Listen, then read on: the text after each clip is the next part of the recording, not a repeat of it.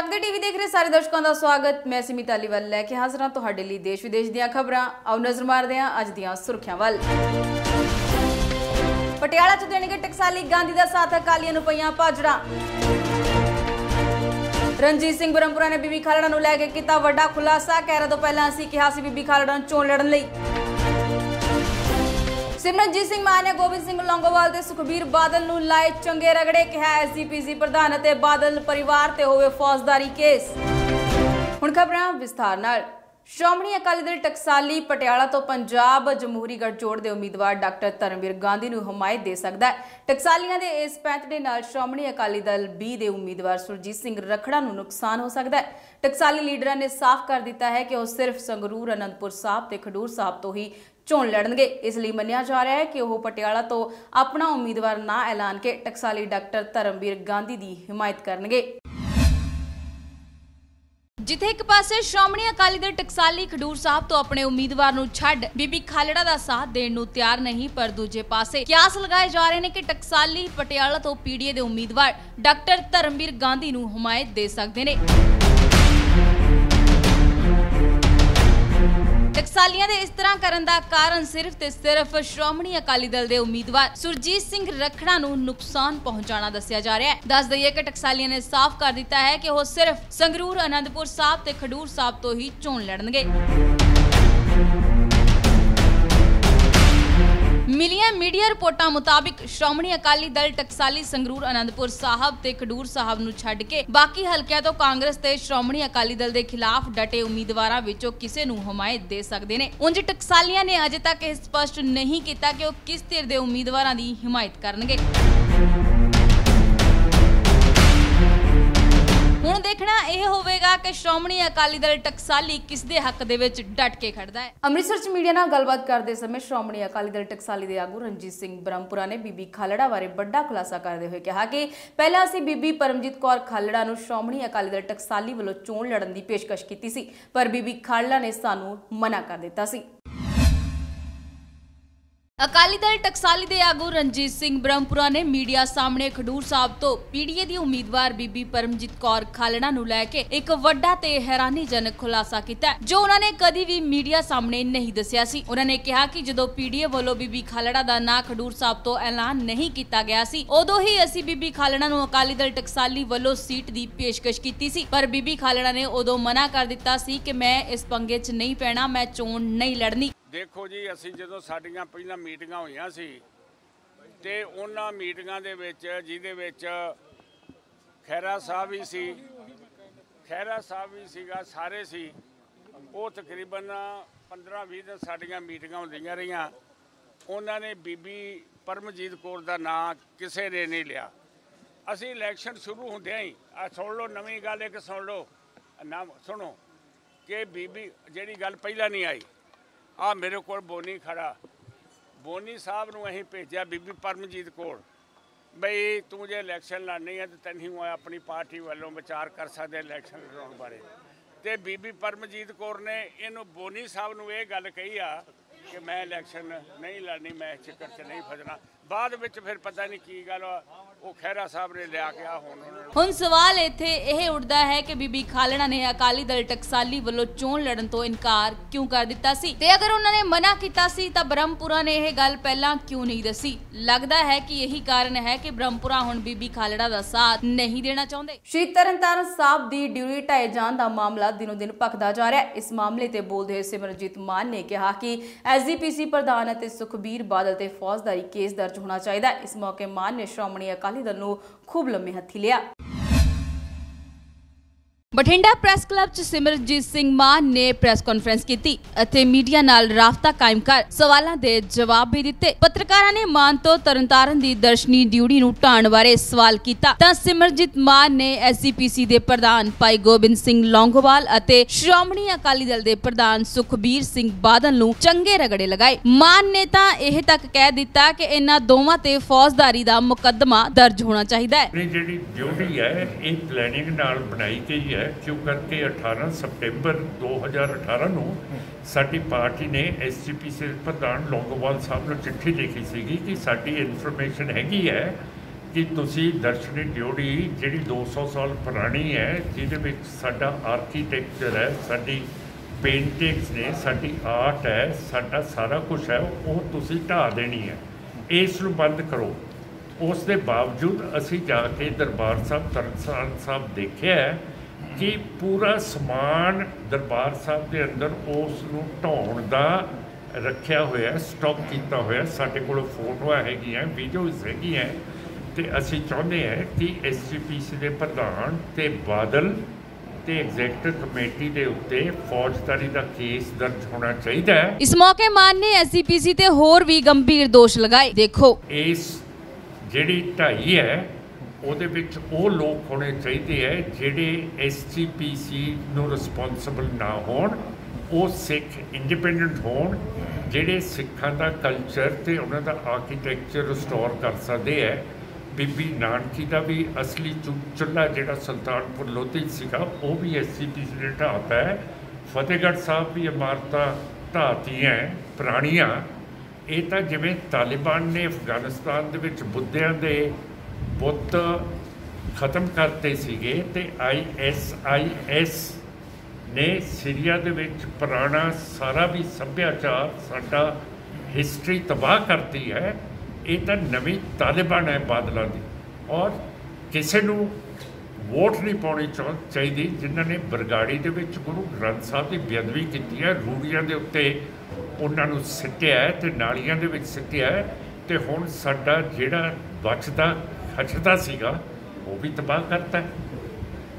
ਜੇ ਇਹ ਅਕਾਲ ਤਖਤ ਸਾਹਿਬ ਦਾ ਜਥੇਦਾਰ ਇਹਨਾਂ ਦਾ ਸਰਸੇ ਵਾਲੇ ਸਾਧ ਨੂੰ ਮਾਫੀ ਦੇ ਸਕਦਾ ਹੈ, ਤਾਂ ਮੇਰਾ ਮਤਲਬ ਹੈ ਇਹ ਸਾਰੇ ਬਾਦਲ ਦਲੀਏ ਤੇ ਬਾਦਲ ਪਾਰਟੀ ਇਹਨਾਂ ਨੇ ਸਾਡਾ ਧਰਮ ਨੂੰ ਨਸ਼ਟ ਕਰ ਦਿੱਤਾ ਹੈਗਾ। ਤਾਲਿਬਾਨ ਨੇ ਨਹੀਂ ਕੀਤਾ ਆਈਐਸਐਸ ਨੇ ਨਹੀਂ ਕੀਤਾ, ਇੰਦਰਾ ਗਾਂਧੀ, ਰਾਜੀਵ ਗਾਂਧੀ ਅਡਵਾਨੀ ਵਾਜਪਾਈ ਇਹਨਾਂ ਨੇ ਕੀਤਾ ਸੀ ਦਰਬਾਰ ਸਾਹਿਬ ਨੂੰ 1984 ਦੇ ਵਿੱਚ, ਪਰ ਇਸ ਦੇ ਪਿੱਛੇ ਵੀ ਲੌਂਗੋਵਾਲ ਬਾਦਲ ਟੋੜਾ ਦੀ ਮਰਜ਼ੀ ਸੀਗੀ, ਸਲਾਹ ਸੀ ਕਿ ਹੁਣ ਮਿਲਟਰੀ ਅਟੈਕ ਕੀਤਾ ਜਾਵੇ। ਇਹ ਸਾਡੇ ਦੁਸ਼ਮਣ ਨੇ, ਜਿਹੜੇ ਸਾਡੇ ਗੁਰੂ ਗ੍ਰੰਥ ਸਾਹਿਬ ਦੇ ਖਿਲਾਫ ਸਾਡੇ ਆਰਕੀਟੈਕਚਰ ਸਾਡੀਆਂ ਇਮਾਰਤਾਂ ਨੂੰ ਇਹ ਜਾਂਦੇ, ਕੱਲ੍ਹ ਨੂੰ ਖਾਲਸਾ ਕਾਲਜ, ਉਹ ਵੀ ਇਹਨਾਂ ਦੇ ਥੱਲੇ ਹੈ, ਅੰਗਲੀ ਸੰਗਲੀ। ਉਹ ਵੀ ਇਹਨਾਂ ਨੇ ਢਾਹ ਦੇਣਾ ਹੈ। 2019 ਲੋਕ ਸਭਾ ਦੀਆਂ ਚੋਣਾਂ ਦਾ ਬਿਗੁਲ ਵੱਜ ਚੁੱਕਾ ਹੈ। ਹਰ ਇੱਕ ਰਾਜਨੀਤਿਕ ਪਾਰਟੀ ਨੇ ਆਪਣੇ ਉਮੀਦਵਾਰ ਐਲਾਨ ਦਿੱਤੇ ਨੇ। ਗੱਲ ਕੀਤੀ ਜਾਵੇ ਫਰੀਦਕੋਟ ਲੋਕ ਸਭਾ ਹਲਕੇ ਦੀ ਤਾਂ ਫਰੀਦਕੋਟ ਲੋਕ ਸਭਾ ਹਲਕੇ ਤੋਂ ਅਕਾਲੀ ਦਲ ਵੱਲੋਂ ਗੁਲਜ਼ਾਰ ਰਣੀਕੇ ਚੋਣ ਮੈਦਾਨ 'ਚ ਨੇ ਅਤੇ ਆਪਣੀ ਜਿੱਤ ਦੇ ਦਾਅਵੇ ਕਰ ਰਹੇ ਨੇ। ਇਸ ਮੌਕੇ ਗੁਲਜ਼ਾਰ ਸਿੰਘ ਰਣੀਕੇ ਸ਼੍ਰੋਮਣੀ ਅਕਾਲੀ ਦਲ ਲੋਕ ਸਭਾ ਹਲਕਾ ਫਰੀਦਕੋਟ ਉਹਨਾਂ ਪਾਰਟੀ ਹਾਕਮਾਨ ਦਾ ਧੰਨਵਾਦ ਕੀਤਾ। ਬਾਬਾ ਫਰੀਦ ਜੀ ਦੀ ਚਰਨ ਛੋਹ ਪ੍ਰਾਪਤ ਧਰਤੀ ਤੇ ਫਰੀਦਕੋਟ ਪਵਿੱਤਰ ਧਰਤੀ ਤੇ ਆਸ਼ੀਰਵਾਦ ਲੈਣ ਵਾਸਤੇ ਬਾਬਾ ਜੀ ਦੀ ਗੁਰੂ ਗ੍ਰੰਥ ਗੁਰੂ ਗ੍ਰੰਥ ਸਾਹਿਬ ਮਹਾਰਾਜ ਦੇ ਆਸ਼ੀਰਵਾਦ ਲੈਣ ਵਾਸਤੇ ਸੰਗਤਾਂ ਦੀ ਆਸ਼ੀਰਵਾਦ ਲੈਣ ਵਾਸਤੇ ਇੱਥੇ ਨਮਸਤ ਹੋਏ ਆ। ਤੇ ਗੁਰੂ ਮਹਾਰਾਜ ਬਖਸ਼ਿਸ਼ ਕਰਨ ਕਿਰਪਾ ਕਰਨ ਸਰਬਸੰਮਤੀ ਦੇ ਨਾਲ ਫੈਸਲਾ ਜਿਹੜਾ ਉਹ ਦਾਸ ਦੇ ਹੱਕ ਚ ਲਿਆ ਸੀ ਤੇ ਮੈਂ ਸਾਰਿਆਂ ਦਾ ਧੰਨਵਾਦ ਕਰਦਾ ਕਿ ਮੇਰਾ ਪਹਿਲੀ ਰੀਕ ਜਿਹੜਾ ਸੰਗਤਾਂ ਦਾ ਸੁਨੇਹਾ ਜਿਹੜਾ ਸਾਰੇ ਸਰਬਸੰਮਤੀ ਦੇ ਨਾਲ ਇਹ ਫੈਸਲਾ ਜਿਹੜਾ ਹੋਇਆ।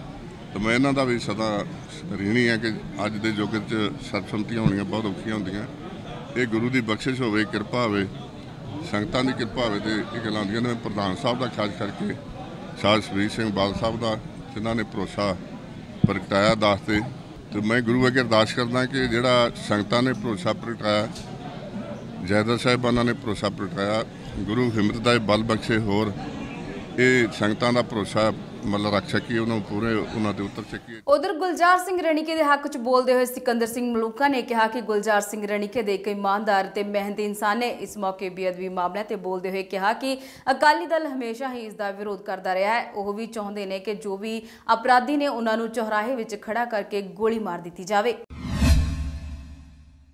ਸ਼੍ਰੋਮਣੀ ਅਕਾਲੀ ਦਲ ਦੇ ਹਲਕਾ ਫਰੀਦਕੋਟ ਤੋਂ ਉਮੀਦਵਾਰ ਗੁਲਜ਼ਾਰ ਸਿੰਘ ਰਣੀਕੇ ਟਿੱਲਾ ਬਾਬਾ ਫਰੀਦ ਵਿਖੇ ਨਤਮਸਤਕ ਹੋਣ ਪਹੁੰਚੇ। ਇਸ ਮੌਕੇ ਸਿਕੰਦਰ ਸਿੰਘ ਮਲੂਕਾ ਨੇ ਕਿਹਾ ਕਿ ਗੁਲਜ਼ਾਰ ਸਿੰਘ ਰਣੀਕੇ ਇੱਕ ਇਮਾਨਦਾਰ ਅਤੇ ਮਿਹਨਤੀ ਇਨਸਾਨ ਹੈ, ਜਿਨ੍ਹਾਂ ਨੇ ਪਾਰਟੀ ਲਈ ਬਹੁਤ ਕੁਝ ਕੀਤਾ ਹੈ ਅਤੇ ਚਾਰ ਵਾਰ ਵਿਧਾਇਕ ਰਹਿ ਚੁੱਕੇ ਹਨ। ਇਸ ਤੋਂ ਵਧੀਆ ਉਮੀਦਵਾਰ ਨਹੀਂ ਮਿਲ ਸਕਦਾ, ਜਿਸ ਨੂੰ ਲੈ ਕੇ ਸਾਰੇ ਵਿਧਾਨ ਸਭਾ ਹਲਕਿਆਂ ਦੇ ਇੰਚਾਰਜ ਦੁਆਰਾ ਸਹਿਮਤੀ ਜਤਾਈ ਗਈ ਹੈ। ਦੇਖੋ, ਜਿਹੜਾ ਅਕਾਲੀ ਦਲ ਦਾ ਟਿਕਟ ਦਾ ਐਲਾਨ ਕੀਤਾ, ਬਹੁਤ ਵਧੀਆ ਬੰਦੇ ਨੇ। ਚਾਰ ਵਾਰੀ ਐਮਐਲਏ ਬਣੇ ਨੇ, ਦੋ ਵਾਰੀ ਮਿਨਿਸਟਰ ਰਹੇ ਨੇ, ਪਾਰਟੀ ਦੇ ਐਸਸੀ ਵਿੰਗ ਦੇ ਪ੍ਰਧਾਨ ਨੇ। ਤੇ ਇਦੋਂ ਵਧੀਆ ਕੈਂਡੀਡੇਟਸ ਦਾ ਤਾਂ ਸੋਚਿਆ ਹੀ ਨਹੀਂ ਜਾ ਸਕਦਾ। ਬੜਾ ਕੰਮ ਕਰਨ ਨੂੰ ਮਿਹਨਤੀ ਹੈ। ਆਪਣੇ ਹਲਕੇ ਦੇ ਵਿੱਚ ਬੜੀ ਡਿਵੈਲਪਮੈਂਟ ਕਰਾਈ ਹੈ ਤੇ ਸਾਨੂੰ ਆਸ ਹੈ। ਫਰੀਦਕੋਟ ਦੇ ਵਿੱਚ ਵੀ ਆ ਕੇ ਆਪਦੀ ਜਿਹੜੀ ਪ੍ਰਾਰੀ ਪਰੰਪਰਾ ਦੀ ਕੰਮ ਕਰਨ ਦੀ ਤੇ ਪਾਰਟੀ ਲਈ ਸਮਰਪਿਤ। ਉਹ ਇੱਥੇ ਵੀ ਕਾਇਮ ਰਹੇਗੀ ਤੇ ਇਹਨਾਂ ਦੇ ਆਉਣ ਦੇ ਨਾਲ ਪਾਰਟੀ ਸਾਰੀ ਇਕਮੁੱਠਾ ਸੀ ਸਾਰੇ ਨੌਵਾਂ ਨੇ, ਸਰਬਸੰਮਤੀ ਨਾਲ ਹੀ ਫੈਸਲਾ ਕਰਕੇ ਆਪ ਮੰਗ ਕੇ ਇਹਨਾਂ ਨੂੰ ਲਿਆ। ਤੇ ਇਹਨਾਂ ਦੀ ਜਿੱਤ ਹਰ ਹਾਲਤ ਹੋਏਗੀ।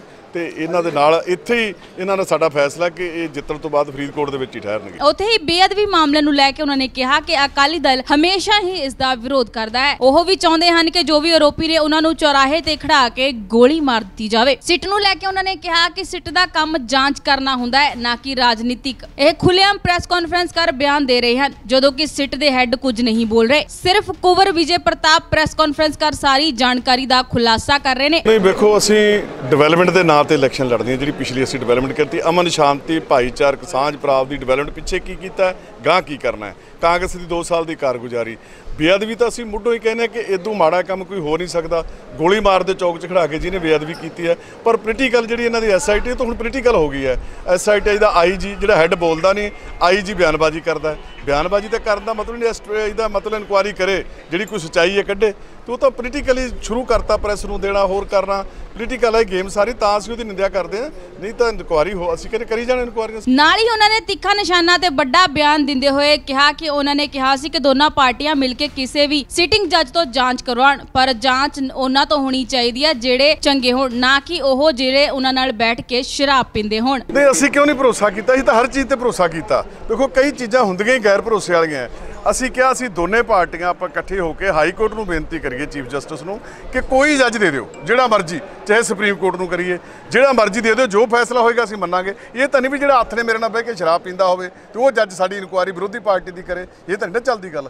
ਨਿਰਪੱਖ ਜੱਜ ਹਾਈ ਕੋਰਟ ਦੇ ਵਿੱਚ 45 ਜੱਜ ਹੈ, ਕੋਈ ਕਰ ਲੇ, ਸੁਪਰੀਮ ਕੋਰਟ ਦਾ ਕੋਈ ਕਰ ਲੇ, ਅਸੀਂ ਅੱਜ ਵੀ ਮੰਨਣ ਨੂੰ ਤਿਆਰ ਹਾਂ। ਜ਼ਿਲ੍ਹਾ ਗੁਰਦਾਸਪੁਰ ਦੇ ਪਿੰਡ ਰਿਆੜ 'ਚ ਦੋ ਗੁੱਟਾਂ ਦੇ ਵਿੱਚ ਫੈਸਲਾ ਕਰਵਾ ਰਹੇ ਮੌਜੂਦਾ ਕਾਂਗਰਸੀ ਸਰਪੰਚ ਤੇ ਉਸਦੇ ਸਾਥੀਆਂ ਦੇ ਪਿੰਡ ਦੇ ਹੀ ਕੁਝ ਲੋਕਾਂ ਨੇ ਹਮਲਾ ਕਰ ਦਿੱਤਾ ਅਤੇ ਸਰਪੰਚ ਸਮੇਤ ਉਸਦੇ ਸਾਥੀਆਂ ਦੀ ਬੁਰੀ ਤਰ੍ਹਾਂ ਕੁੱਟਮਾਰ ਕੀਤੀ ਗਈ। ਹਮਲੇ ਵਿੱਚ ਪਿੰਡ ਦੇ ਮੌਜੂਦਾ ਸਰਪੰਚ ਦੀ ਪਹਿਲਾਂ ਬੁਰੀ ਤਰ੍ਹਾਂ ਮਾਰ ਕੁਟਾਈ ਕੀਤੀ ਗਈ ਤੇ ਬਾਅਦ ਦੇ ਵਿੱਚ ਉਸ ਨੂੰ ਗੱਡੀ ਦੇ ਨੀਚੇ ਰੋੜਿਆ ਗਿਆ, ਜਿਸ ਨਾਲ ਸਰਪੰਚ ਨਵਦੀਪ ਸਿੰਘ ਦੀ ਮੌਕੇ ਤੇ ਹੀ ਮੌਤ ਹੋ ਗਈ। ਪੁਲਿਸ ਨੇ ਮਾਮਲਾ ਦਰਜ ਕਰ ਕਾਰਵਾਈ ਸ਼ੁਰੂ ਕਰ ਦਿੱਤੀ ਹੈ। ਨੇਕੀ ਕਰ ਦਰਿਆ ਮੇ ਇਹ ਕਹਾਵਤ ਸੱਚ ਹੁੰਦੀ ਉਦੋਂ ਨਜ਼ਰ ਆਈ ਜਦੋਂ ਜ਼ਿਲ੍ਹਾ ਗੁਰਦਾਸਪੁਰ ਦੇ ਪਿੰਡ ਰਿਆੜ 'ਚ ਇੱਕ ਭਿਆਨਕ ਘਟਨਾ ਘਟ ਗਈ, ਜਿੱਥੇ ਇੱਕ ਅਜਿਹੇ ਇਨਸਾਨ ਨੂੰ ਆਪਣੀ ਜਾਨ ਤੋਂ ਹੱਥ ਧੋਣਾ ਪੈ ਗਿਆ, ਜਿਹੜਾ ਕਿ ਕਿਸੇ ਦਾ ਸਮਝੌਤਾ ਕਰਵਾਉਣ ਗਿਆ ਸੀ। ਪਰ ਆਪਣੀ ਹੀ ਜ਼ਿੰਦਗੀ ਤੋਂ ਹੱਥ ਤੋਂ ਬੈਠਾ। ਜੀ ਹਾਂ, ਜ਼ਿਲ੍ਹਾ ਗੁਰਦਾਸਪੁਰ ਦੇ ਪਿੰਡ ਰਿਆੜ 'ਚ ਦੋ ਗੁੱਟਾਂ ਦੇ ਵਿੱਚ ਫੈਸਲਾ ਕਰਵਾ ਰਹੇ ਮੌਜੂਦਾ ਕਾਂਗਰਸੀ ਸਰਪੰਚ ਅਤੇ ਉਸਦੇ ਸਾਥੀਆਂ ਤੇ ਪਿੰਡ ਦੇ ਹੀ ਕੁਝ ਲੋਕਾਂ ਨੇ ਹਮਲਾ ਕੀਤਾ ਅਤੇ ਸਰਪੰਚ ਸਮੇਤ ਉਸਦੇ ਸਾਥੀਆਂ ਦੀ ਬੁਰੀ ਤਰ੍ਹਾਂ ਨਾਲ ਮਾਰ ਕੁਟਾਈ ਕੀਤੀ। ਹਮਲੇ 'ਚ ਪਿੰਡ ਦੇ ਮੌਜੂਦਾ ਸਰਪੰਚ ਦੀ ਪਹਿਲਾਂ ਬੁਰੀ ਤਰ੍ਹਾਂ ਮਾਰ ਕੁਟਾਈ ਕੀਤੀ ਗਈ ਅਤੇ ਬਾਅਦ ਦੇ ਵਿੱਚ ਉਸ ਨੂੰ ਗੱਡੀ ਦੇ ਨੀਚੇ ਰੋੜਿਆ ਗਿਆ, ਜਿਸ 'ਚ ਸਰਪੰਚ ਨਵਦੀਪ ਦੀ ਮੌਕੇ ਤੇ ਹੀ ਮੌਤ ਹੋ ਗਈ। ਜਦੋਂ ਕਿ ਇਸ ਹਮਲੇ 'ਚ ਤਿੰਨ ਹੋਰ ਲੋਕ ਜ਼ਖਮੀ ਨੇ, ਜਿਨ੍ਹਾਂ 'ਚੋਂ ਦੋ ਦੀ ਹਾਲਤ ਗੰਭੀਰ ਦੱਸੀ ਜਾ ਰਹੀ ਹੈ ਅਤੇ ਜਿਨ੍ਹਾਂ ਨੂੰ ਇਲਾਜ ਦੇ ਲਈ ਅੰਮ੍ਰਿਤਸਰ ਹਸਪਤਾਲ ਦੇ ਵਿੱਚ ਦਾਖਲ ਕਰਵਾਇਆ ਗਿਆ। ਹੈ। ਮ੍ਰਿਤਕ ਦੇ ਪਰਿਵਾਰ ਦਾ ਕਹਿਣਾ ਹੈ ਕਿ ਹਮਲਾ ਕਰਵਾਉਣ ਵਾਲੇ ਸਟੇ ਪਿੰਡ ਦੌਲਤਪੁਰ ਦੇ ਸਾਬਕਾ ਅਕਾਲੀ ਸਰਪੰਚ ਅਤੇ ਉਸਦੇ ਸਾਥੀ ਸਨ। ਮੇਰਾ ਬੇਟਾ ਸੀਗਾ ਮੌਜੂਦਾ ਸਰਪੰਚ ਸੀਗਾ। ਇਹਨਾਂ ਨੇ ਫੈਸਲੇ ਤੇ ਸੱਦਿਆ ਮੁੜ ਕੇ ਇਹਨੂੰ ਉਹਨਾਂ ਨੇ ਚੁੱਕ ਕੇ ਗੱਡੀ 'ਚ ਲੈ ਗਏ ਆਪਣੇ ਘਰ। ਘਰੋਂ ਕੁੱਟ ਕੇ ਮਾਰ ਕੇ ਫਿਰ ਇਹਨਾਂ ਨੇ ਲਿਆ ਕੇ ਬਾਹਰ ਲਿਆ ਕੇ ਤੇ ਇਹਨਾਂ ਨੇ ਗੱਡੀ ਤੋਂ ਨਕਾਈ ਨਾਲੇ ਸਿਰ 'ਚ ਵੱਟੇ ਵੱਟੇ ਪੱਥਰ ਮਾਰ ਬੋ ਜਾ ਤੇ ਕੌਣ ਸਾਨੇ ਬੰਦੇ ਤੇ ਕੀ ਉਹਨਾਂ ਦਾ ਫੈਸਲਾ ਤੁਹਾਡਾ ਉੱਥੇ ਚੱਲ ਰਿਹਾ? ਉਹ ਕਾਲੀ ਪਾਰਟੀ ਦਾ ਸਰਪੰਚ ਸੀ। ਇਹਨਾਂ ਦਾ ਕੋਈ ਮਾੜਾ ਮੋਟਾ ਸੀਗਾ ਆਂਦੇ ਇੱਕ ਮਾਫੀ ਮੰਗੀ ਆ ਮੈਂ ਨਾ ਨਹੀਂ ਮੰਗੀ। ਉਹਦਾ ਕਰਕੇ ਥੋੜਾ ਜਿਹਾ ਝਗੜਾ ਜਿਹਾ ਵੱਧ ਗਿਆ। ਮੇਰਾ ਜਿਹੜਾ ਬੇਟਾ ਪਿੰਡ ਰਿਆੜ ਦਾ ਬਣਿਆ ਉਹ ਦੋ ਦੌਲਤਪੁਰ ਦਾ ਵਾ। ਦੌਲ- ਦੌਲਤਪੁਰ ਚ ਮੇਰਾ ਜਵਾਈ ਬਣਿਆ ਸੀ ਉਹਦਾ ਕਰਕੇ ਪੇਜ ਕਰਦਾ ਹੈ। ਨਾਲੇ ਦੌਲਤ ਮੇਰੀ ਜ਼ਮੀਨ ਸੀਗੀ ਉੱਥੇ ਮੈਂ ਫੇਰਾ ਮਾਰਨ ਤੇ ਜਾਣਾ ਪੈਂਦਾ ਹੈ ਇਹ ਹਾਲਾਤਵਾਦ ਚੋਂ ਬਹੁਤ ਰਹੇ। ਉਹਨਾਂ ਕੋਲ ਨਜਾਇਜ਼ ਅਸਲਾ ਵੀ ਹੈਗਾ ਬਹੁਤ ਜ਼ਿਆਦਾ। ਭੁੱਕੀ ਦਾ ਤੇ ਸਮੈਕ ਦਾ ਬਹੁਤ ਜ਼ਿਆਦਾ ਕੰਮ ਕਰਦੇ ਉਹਨਾਂ ਨੂੰ ਕੋਈ ਸਰਕਾਰ ਫੜਦੀ ਨਹੀਂ। ਬੈਕਗ੍ਰਾਉਂਡ ਉਹਨਾਂ ਦੀ ਕ੍ਰਿਮੀਨਲ ਹੈ ਹਾਂ ਬਹੁਤ ਜ਼ਿਆਦਾ ਮਾੜੀ। ਹੈ ਉੱਥੇ ਹੀ ਇਸ ਮਾਮਲੇ 'ਚ ਪੁਲਿਸ ਜ਼ਿਲ੍ਹਾ ਬਟਾਲੇ ਦੇ ਡੀਐਸਪੀ ਜੋ ਇਸ ਵਾਰਦਾਤ ਦੀ ਸੂਚਨਾ ਮਿਲਣ ਤੇ ਸਿਵਲ ਹਸਪਤਾਲ ਬਟਾਲਾ ਪਹੁੰਚੇ ਉਹਨਾਂ ਨੇ ਦੱਸਿਆ ਕਿ ਮਾਮਲੇ ਵਿੱਚ ਮ੍ਰਿਤਕ ਦੇ ਪਰਿਵਾਰ ਅਤੇ ਜੋ ਇਸ ਹਮਲੇ 'ਚ ਜ਼ਖਮੀ ਹੋਏ ਨੇ ਉਹਨਾਂ ਦੇ ਬਿਆਨਾਂ ਦੇ ਆਧਾਰ ਤੇ ਕੇਸ ਦਰਜ ਕੀਤਾ ਜਾ ਚੁੱਕਾ ਹੈ ਅਤੇ ਛੇਤੀ ਹੀ ਦੋਸ਼ੀਆਂ ਨੂੰ ਗ੍ਰਿਫਤਾਰ ਕੀਤਾ ਜਾਵੇਗਾ। ਪਿੰਡ ਦੌਲਤਪੁਰਾ ਇੱਥੇ ਮੌਜੂਦਾ ਸਰਪੰਚ ਤੇ ਸਾਬਕਾ ਸਰਪੰਚ ਦਾ ਨਾ ਕਿਸੇ ਮਾਮਲੇ ਤੋਂ ਉਹਨਾਂ ਦੀ ਚੱਲਦੀ ਸੀ। ਤੇ ਅੱਜ ਪਾਰਟੀਆਂ ਇਕੱਠੀਆਂ ਹੋਈਆਂ ਸੀ। ਦੋ ਬੰਦੇ ਗਏ ਵੀ ਸੀ ਸੁਰਿੰਦਰ ਗੁਰਨਾਮ ਇਹਨਾਂ ਨੂੰ ਕਹਿ ਕੇ ਦੂਜੀ ਪਾਰਟੀ ਨੂੰ ਕਿ ਬੈਠ ਕੇ ਤੇ ਮਾਮਲਾ ਸੁਲਝਾਈਏ, ਕਿ ਅੱਗੇ ਨਾਲ ਗੱਲ ਵਧੇ। ਉਹ ਅੱਜ ਸਾਰੇ ਇੱਥੇ ਸਕੂਲ ਦੇ ਲਾਗੇ ਖੜੇ ਸੀ ਤੇ ਫਿਰ ਦੂਸਰੀ ਪਾਰਟੀ ਕਾਫੀ ਜ਼ਿਆਦਾ ਉਹਨਾਂ ਦੇ ਮਿਕਦਾਰ ਸੀ। ਮੈਂ ਵੱਟੇ ਬੁੱਟੇ ਕਹਿੰਦੇ ਇਹਨਾਂ ਦੇ ਮੁਤਾਬਕ ਜੇ। ਮੈਂ ਇਨੀਸ਼ੀਅਲ ਦੱਸਣ ਡਿਆ ਕਿ ਵੱਟੇ ਬੁੱਟੇ ਚਲਾਏ ਨੇ ਤੇ ਫਿਰ ਉਹਨਾਂ ਨੇ ਗੱਡੀ ਲਿਆ ਕੇ ਤੇ ਇਹਨਾਂ ਦੇ ਪਹਿਲੇ ਜਿਹੜਾ ਬੰਦੇ ਦੀ ਡੈਥ ਹੋ ਗਈ ਹੈ ਰਿਆੜ ਪੱਤੀ ਦਾ ਸਰਪੰਚ ਸੀ ਨਵਦੀਪ। ਤੇ ਉਹਦੀ ਗੱਡੀ ਬਾਰ-ਬਾਰ ਚੜੀ ਹੈ ਤੇ ਦੋ ਬੰਦੇ ਹੋਰ ਵੀ, ਤਿੰਨ ਬੰਦੇ ਰਾਦਰ ਤਿੰਨ ਬੰਦੇ ਹੋਰ ਜ਼ਖਮੀ ਹੋਏ ਦੋ ਜ਼ਿਆਦਾ ਸੀਰੀਅਸ ਨੇ ਉਹਨਾਂ ਨੂੰ ਅੰਮ੍ਰਿਤਸਰ ਸ਼ਿਫਟ ਕਰਤਾ ਇੱਕ ਭੁਪਿੰਦਰ ਸਿੰਘ ਇੱਥੇ ਹੈ। ਹਾਂਜੀ। ਕੀ ਕਾਰਵਾਈ ਕੀਤੀ ਕਾਰਵਾਈ ਤੇ ਕੇਸ ਰਜਿਸਟਰ ਤੇ ਕਰਾਂਗੇ ਜੀ। ਪਹਿਲੇ ਤੇ ਇਨੀਸ਼ੀਅਲੀ ਮੌਕਾ ਦੇਖ ਰਹੇ ਹਾਂ ਅਸੀਂ। ਅ, ਜਿਹੜਾ ਮੌਜੂਦਾ ਸਰਪੰਚ ਆ ਉਹਨਾਂ ਨੇ ਇਸ ਰਾਜੀਨਾਮੇ ਵਾਸਤੇ ਆਪਣੇ ਰਿਸ਼ਤੇਦਾਰ ਵੀ ਬੁਲਾਏ ਸੀ। ਨਹੀਂ ਇਹ ਦੋਨਾਂ ਦਾ ਇੱਕ ਹੀ ਪਿੰਡ ਹੈ ਇੱਕ ਹੀ ਪਿੰਡ ਹੈ ਜੀ ਜਿਹੜੀਆਂ ਮੇਨ ਪਾਰਟੀਆਂ ਨੇ ਦੋਵਾਂ ਇੱਕੋ ਪਿੰਡ ਦੀਆਂ ਦੌਲਤਪੁਰ ਦੀਆਂ। ਸੀ ਸਾਰੇ?